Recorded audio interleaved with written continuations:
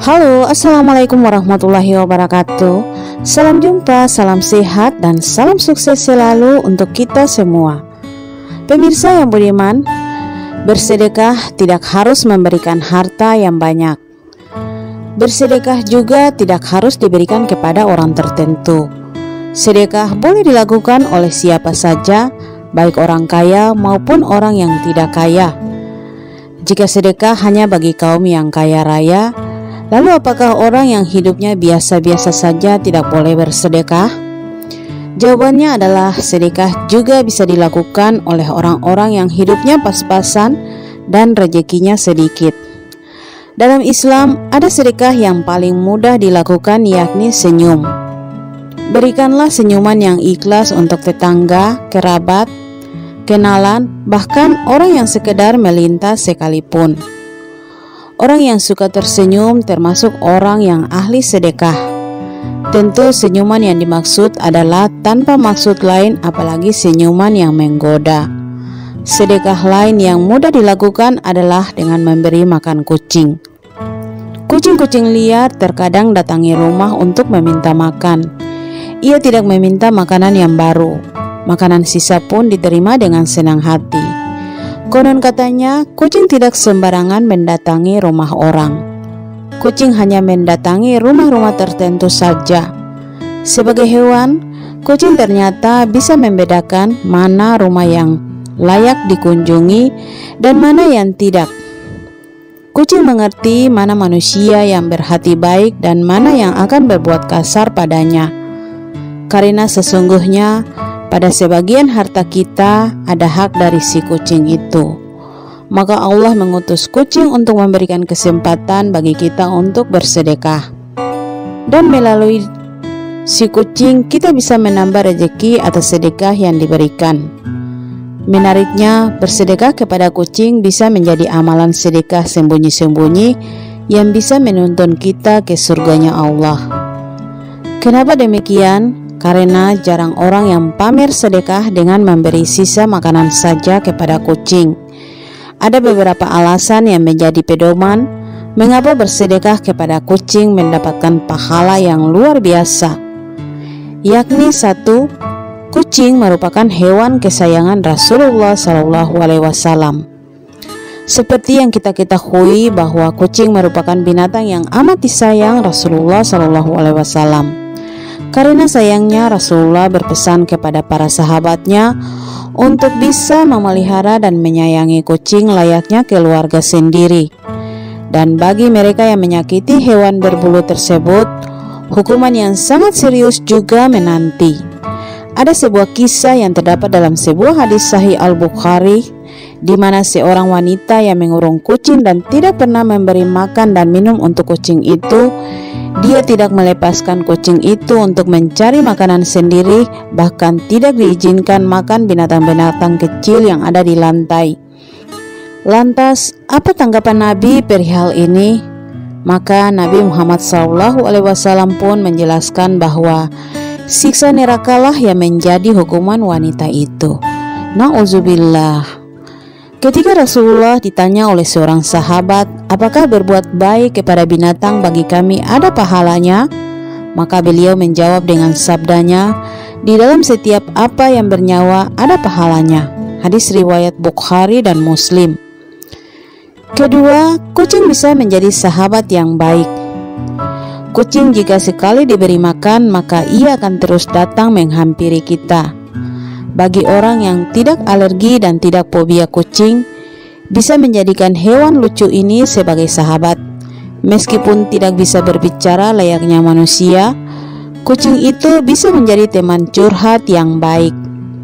Kalau kamu sedang merasa sedih, gundah gulana, atau galau, cerita saja ke kucing peliharaan dan lihatlah ekspresinya Kucing itu seakan-akan mampu untuk mengerti perasaan manusia, bahkan tak jarang kucing akan membalas curhatanmu dengan gestur yang menggemaskan, seperti mengelus kepala di badanmu atau mengeong tanpa henti. Ada kisah bersedekah kepada kucing yang sangat menyentuh hati, yakni ada sepasang suami istri yang dikaruniai seorang anak pada tahun pertama masa-masa pernikahan mereka. Tentu saja mereka sangat gembira dengan anugerah Allah tersebut karena memiliki anak termasuk salah satu harapan besar mereka. Akan tetapi, kebahagiaan mereka ternyata tidak bertahan lama. Allah Subhanahu wa Ta'ala berkehendak menimpa penyakit aneh kepada sang anak yang masih bayi itu. Berbagai ikhtiar pengobatan telah dilakukan kedua orang tuanya, namun pengobatan seakan-akan tak berdaya untuk menyembuhkan. Keadaan sang anak semakin memburuk.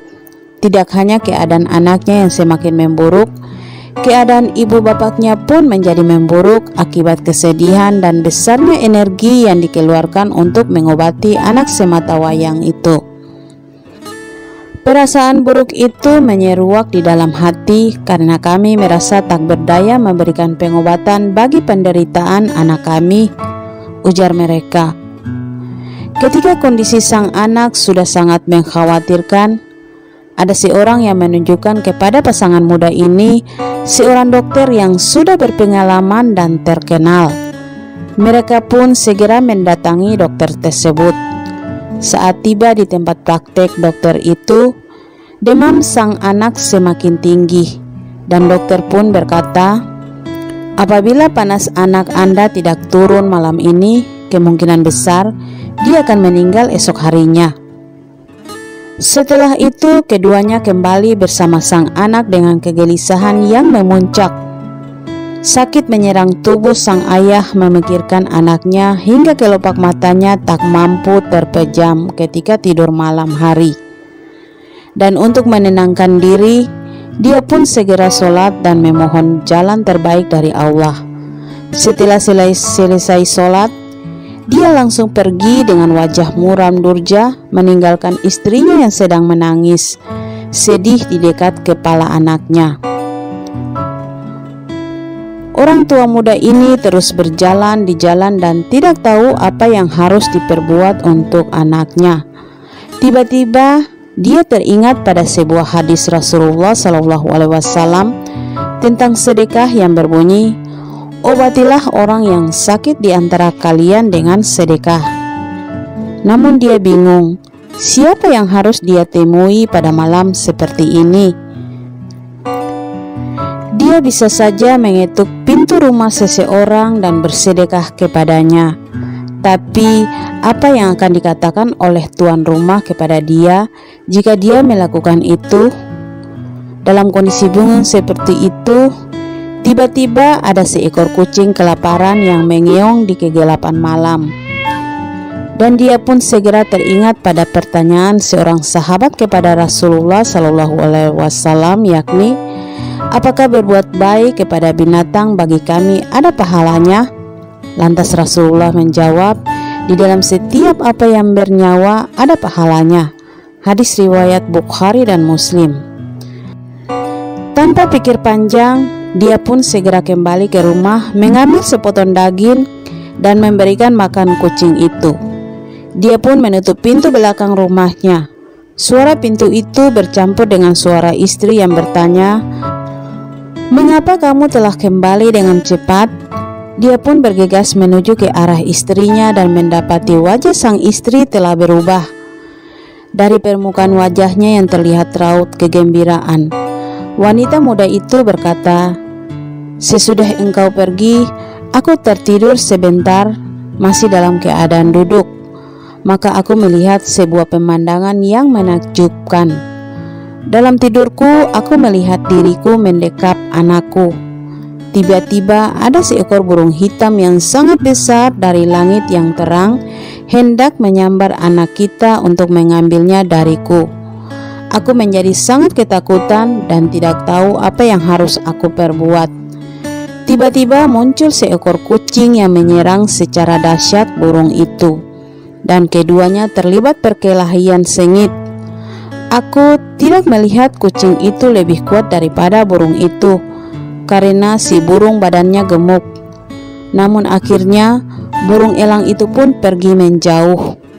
Aku terbangun mendengar suaramu ketika datang tadi. Mendengar cerita istrinya, dia hanya tersenyum melihat suaminya.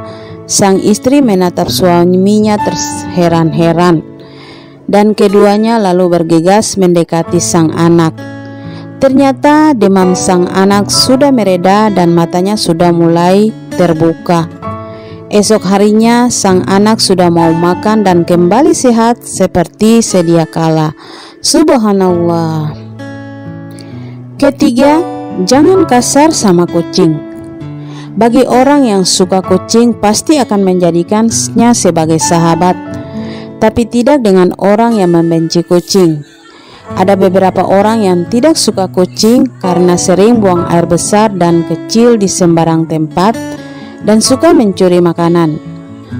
Namun tak suka bukan berarti harus melakukan kekerasan kepada hewan tersebut kan? Ingat, meski kucing kadang bandel tapi kucing adalah makhluk kecil dan lemah. Jadi kalau kamu menyiksa kucing sama saja kamu sudah menyiksa kaum lemah. Cukup diusir saja dengan mengebaskan sapu lidi atau cipratan air, maka kucing itu akan pergi menjauh dari rumahmu. Ingat, kalaupun kucing itu mencuri makanan, itu hanya sebatas untuk mereka dan anak-anaknya makan. Pemirsa yang budiman, itulah dahsyatnya balasan sedekah kepada kucing. Semoga Allah menjabat semua yang kita kehendaki dan semoga Allah membimbing kita dalam istiqomah untuk meraih naungannya. Amin.